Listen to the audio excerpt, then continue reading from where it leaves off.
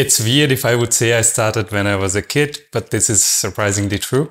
When I started, actually, it was my mom. She was going to an institute to learn programming along with Photoshops and all the other stuff about computer. And computer was really new back then in India. Internet, internet was also pretty new. I started programming, uh, learning from my mom, even when I had no idea what programming was, just because she was learning this fancy stuff. I thought, okay, I'm going to do that the same. And that's what really happened. I, I think I, I remember the first course I did, I miserably failed the exam in the end because I, I was cramming the programming, you know, the, the program, how to, for, in, for instance, find the prime numbers and stuff. But still, uh, that, that gave me some idea about the programming and at least gave me the interest to do the programming. But the real programming stuff started after my 10th grade. It's like high school in India. And then I joined the Polytechnic College where I started learning programming uh, as a study that's when I started basically.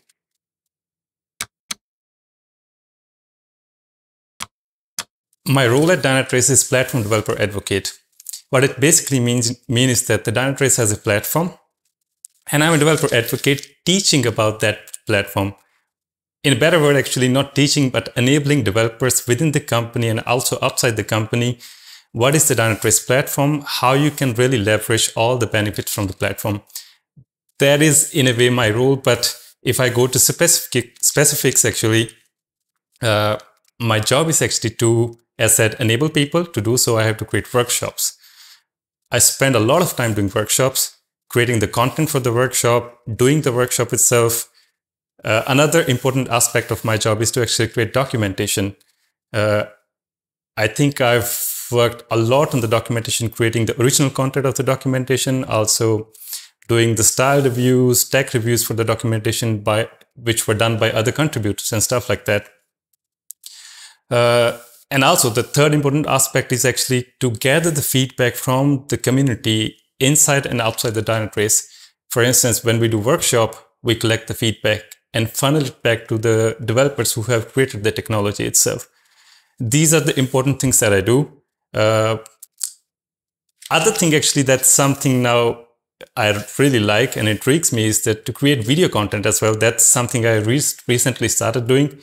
Uh, we have an app called Learn DQL where people can learn Dynatrace query language where they go and it's like Dojo app. People go, they have set of uh, exercise that they have to do.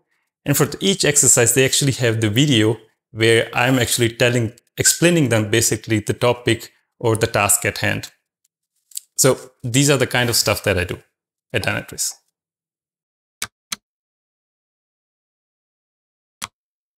One of the first thing is people who really want to start programming, I think they spend a lot of time thinking about syntax and all sort of stuff, which in my opinion is not really programming. This is not what you should start to learn.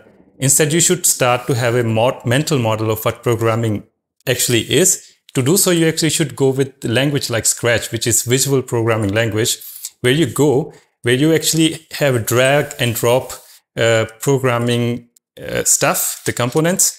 For instance, how to do conditionals, how to do loops and stuff, where you don't spend a lot of time fixing the syntax, but actually executing the logic.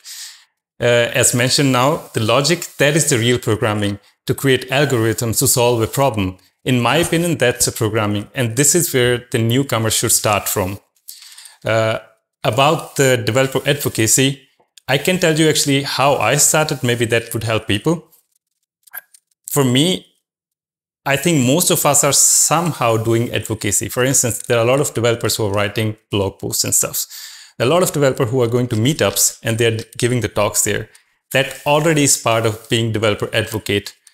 This same thing happened to me. I wrote a couple of books on Ionic, which is a mobile framework to create hybrid applications. And then I actually started going to meetups where I was giving presentation. I wrote a couple of blog posts for a couple of online uh, publications and stuff. And these were all sort of stuff that I did before uh, before becoming a developer advocate at Dynatrace. So if you are doing all those sort of stuff, you are trying to help people in the community. I think you're already on the path of becoming developer advocate. Last things for you is just to find the job uh, for developer advocate and then just jump into it.